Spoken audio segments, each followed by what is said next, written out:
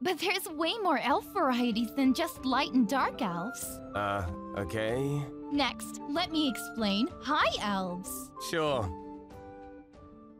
High Elves have longer, pointier ears and they're really good with magic stuff. Smug, long ears, massive mana reserves. They also can have crazy lifespans that date back to ancient mythical eras and are more likely to occupy higher positions in elf society, such as royals or nobles.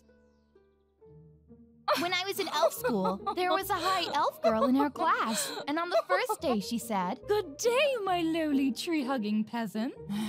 I'm sure you wood elves are in awe just being in my presence. Don't worry, that's only natural. But fear not, drudges. If you ask nicely, I might consider becoming your friend.